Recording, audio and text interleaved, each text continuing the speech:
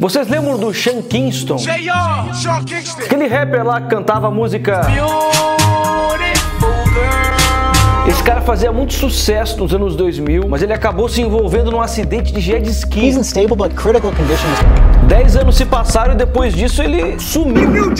O que muita gente pesquisa na internet é o que, que aconteceu com o Sean Kingston. Como é que ele tá hoje? Vou mostrar agora aqui nesse vídeo. J.R. Sean Kingston. Mas antes de começar o vídeo aqui, eu quero dar uma dica pra você que edita vídeos ou pra você que tá querendo começar a aprender a editar de um jeito molezinha. Tô falando do Filmora 9, que é um editor de vídeos perfeito pra você que tá querendo aí criar sem limites. Você pode testar ele agora de graça. Eu vou deixar o link do download aqui embaixo na descrição do vídeo dessa versão grátis. Tá disponível para Windows, para Mac. Logo de cara abrindo aqui o Filmora, dá pra ver que ele é super fácil de usar, não tem mistério nenhum nenhum. Dá pra aplicar efeitos incríveis de um jeito muito simples. Vocês terem uma ideia aí, tem vários tipos de transições, animações, filtros, tem muita, muita opção aqui. E é um editor de vídeos diferenciado porque ele oferece ferramentas exclusivas e ele é muito intuitivo mesmo na hora de usar. Sem falar que ele tem a renderização rápida, até quando você está editando alguma coisa, alguma imagem, foi feita em 4K. Tem também uma biblioteca com várias músicas liberadas para você usar à vontade durante a sua edição, sem se preocupar com direitos autorais. Ou seja, dá para criar sem limites mesmo. Então, ó, como eu falei, está disponível para Windows, para Mac. Eu vou deixar o link da versão gratuita aqui embaixo na descrição do vídeo. Baixa agora aí o Filmora 9 que eu tenho certeza que você vai descobrir um jeito muito legal para editar os seus vídeos com muito mais qualidade. Já deixa o like aí no vídeo, se inscreve no canal se você não é inscrito ainda. Kinshan Anderson, ou simplesmente Sean Kingston, nasceu em Miami no dia 3 de fevereiro de 1990. Só que o cara começou a ficar conhecido mesmo em 2007. Vocês lembram, né? Quem era nascido pelo menos. O Sean Kingston, ele é um rapper e também um cantor de reggae. Rap, também um pouco de pop. Ele tem uma pegada meio Estados Unidos, meio Jamaica. E ele nasceu, né, em Miami, na Flórida, mas ele se mudou para Jamaica quando ele tinha 6 anos de idade só. Mas nessa época ninguém sabia o que, que era Sean Kingston, não era, o cara não era famoso. O Sean Kingston fez tanto sucesso com esse primeiro single aí, Beautiful Girls, tocava em tudo que é lugar, vocês lembram? Ladies and gentlemen, Sean Kingston.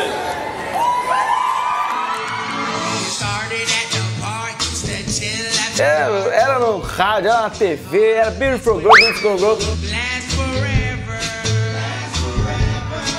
Só no YouTube põe aqui, ó, YouTube Beautiful Girls, ó. A música oficial tá com 598 milhões de visualizações. Eita porra. Mas tipo, tem um pedaço da letra, uma palavra que chamou atenção e foi até censurada em tudo que é lugar, tipo rádio, TV, MTV, censurou também. That's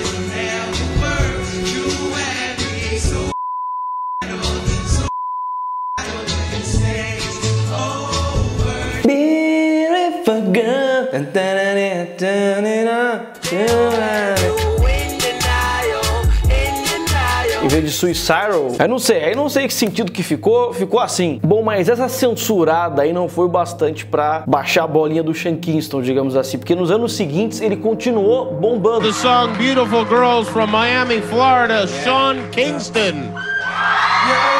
So beautiful girl.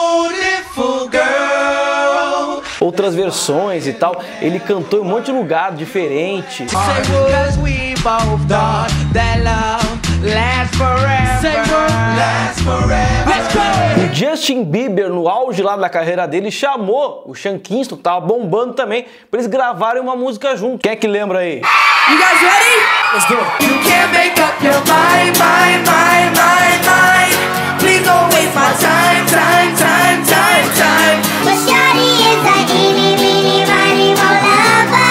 Até uma música do Led Zeppelin que o Sean Kingston fez uma versão. Ah, ah, ah, ah, ah, ah. É a música, maestro?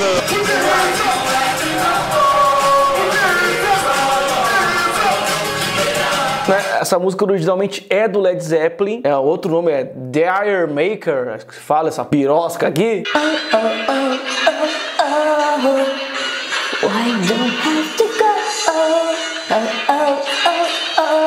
Inclusive, isso era uma marca do Sean Kingston, associar algumas músicas com uma criação dele, pegar um pouco da batida e tal. No Beautiful Girls tinha isso também, com Stand By Me.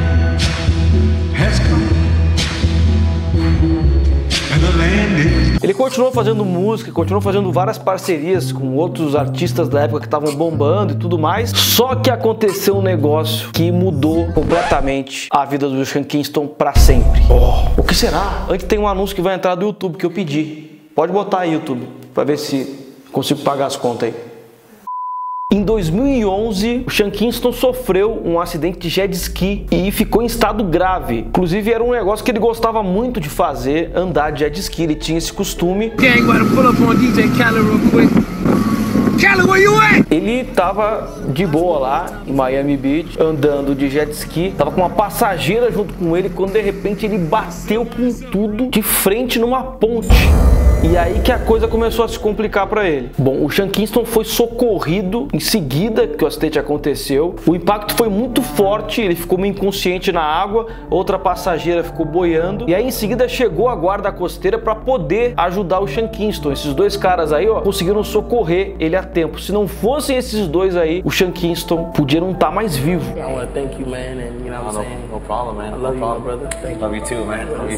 Porque na hora ele estava muito sem força, muito debilitado. E não, era só por causa do acidente que ele podia morrer, sim, porque ele tinha caído na água e podia se afogar depois desse acidente. Aí ele foi levado às pressas para o hospital, ficou 11 dias internado, se sentiu de certa forma melhor, mas ele estava sentindo um incômodo no peito e aí ele acabou investigando mais a fundo, ficou sabendo que tinha um problema cardíaco, que ele tem que fazer uma cirurgia, e isso foi também uma complicação por causa do acidente de jet ski. Aos poucos ele foi retomando a carreira dele. Só que o mais curioso é que depois do acidente, o Sean não conseguiu mais toda aquela fama, toda aquela evidência que ele tinha. E os convites para entrevista, para participação de programas que aconteciam, era para ele poder contar sobre o acidente, como é que tinha sido essa experiência. Então, imagina, o cara tava encheu o saco, né? To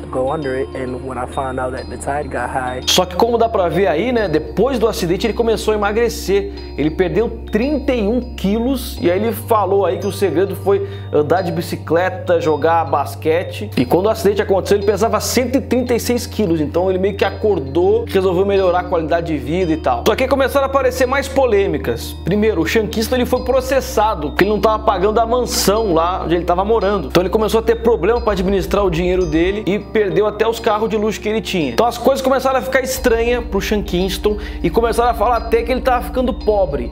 Ele fala nessa entrevista aqui, ó, um monte de gente diz que eu estou devendo joias e que não estou pagando as pessoas. Existem muitos rumores sobre isso. No final do dia, eu estivesse pobre, eu não estaria gastando 25 mil dólares para viver fora de Los Angeles. Ele se envolveu em briga também em 2017, foi espancado por um trio lá de rap que acho que não gostava dele. Sei lá, os caras trocaram chute, soco, foi uma doideira. Esse aqui, galera, é o Instagram do Sean Kingston, tem mais de um milhão de seguidores. Ele tem pouca publicação aqui, ó. Tem foto dele aí mostrando os relojão, as correntes, os negócios. Happy birthday to you.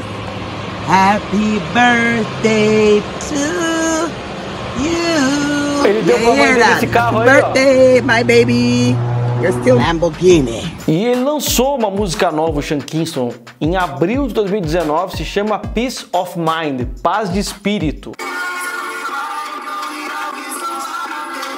A música é uma pegada um pouco diferente do que ele tá acostumado a fazer, mas tem o DNA Sean Kingston, né? Aquela pegada Sean Kingston. Mas aí, será que ele tá querendo paz de espírito mesmo? Seguir uma nova fase de vida e tal? Não sei, só sei que ele foi detido aí, ó, esse ano. Pô, Sean Kingston, me ajuda aí, cara. Foi detido lá porque tava dentro de um restaurante com uma arma de fogo. Tava armado lá. Meu Deus. É, Ele foi mandado lá pra fora do restaurante. Chegaram a imobilizar ele, ó. E aí as pessoas que estavam no lugar falaram que o carro dele tava, tipo, atrapalhando a passagem de todo mundo. Pô, não dá também, né? Aí ele ficou irritado depois, parece que jogou gelo na janela do restaurante. Chanquista doidão. Pelo visto, não encontrou paz de espírito, coisa nenhuma, mas ele tá já encontrando mais um, um- uma música aí. I'm letting y'all know now, it's gonna get crazy.